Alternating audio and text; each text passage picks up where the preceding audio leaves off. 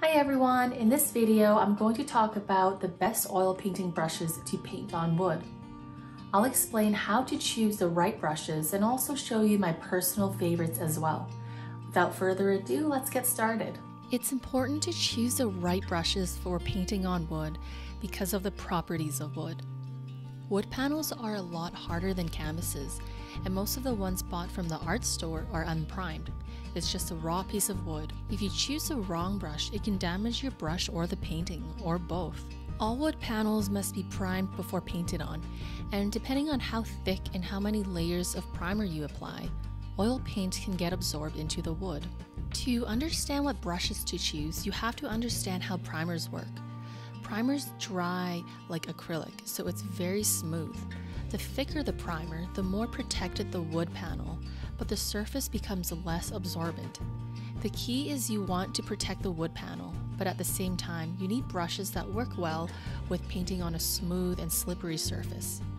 That's why you want a brush with bristles on the softer side, especially when you're painting thick paint on wood.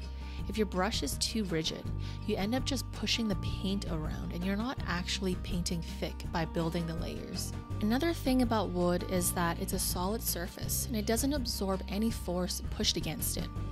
Whereas with a canvas, the fabric works with the bristles as they both bend when you push against a canvas surface. So you don't want to use a brush that is too stiff or you'll feel like you're scraping the paint off instead of lathering it on nicely. I recommend against using hog or stiff bristle brushes and instead use soft synthetic brushes. The problem though with traditional soft brushes, what a lot of artists face is that they don't hold their shape when painting big, bold marks. Synthetic brushes are great for rendering fine details in traditional painting methods, so to tackle the challenge with painting on wood, I recommend something that's in between hog and synthetic soft brushes. There are a lot of different brands out there, but here are my personal favorites. Here's the Princeton Synthetic Aspen 6500 series.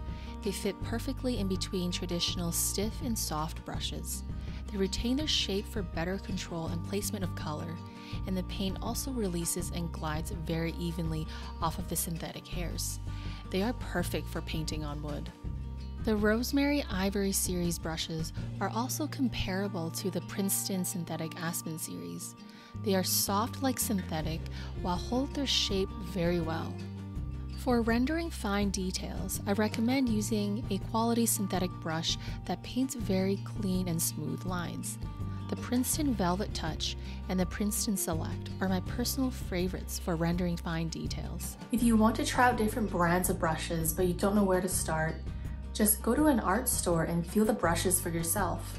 Pick up a hog brush, which is the most stiff oil painting brush that you can find, and then pick up a synthetic nylon brush and observe how soft it actually is.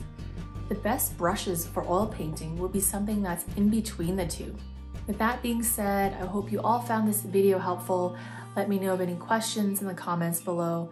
Thank you so much for watching. I'll see you next time.